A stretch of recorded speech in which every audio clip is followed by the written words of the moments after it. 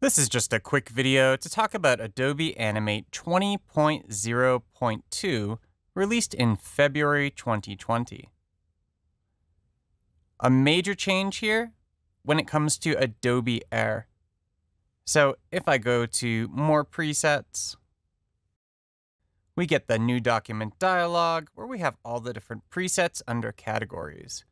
Now, if I go to advanced, let's go down and choose Air for desktop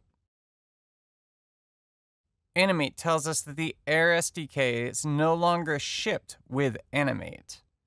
In order to enable Air publishing, we have to click this link here to enable Air SDK. That link brings us to the Enable Air SDK in Animate workflow.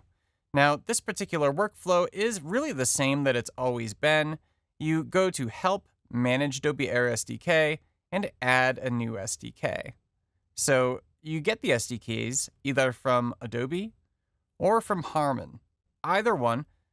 Right now, I'd probably stick with the one from Adobe unless you're actually taking advantage of Google 64 bit Android. Then I'd go with Harman.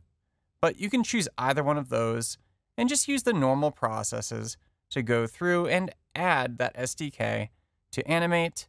And at that point, everything should behave as it usually does. So, not a huge deal, but something to be aware of.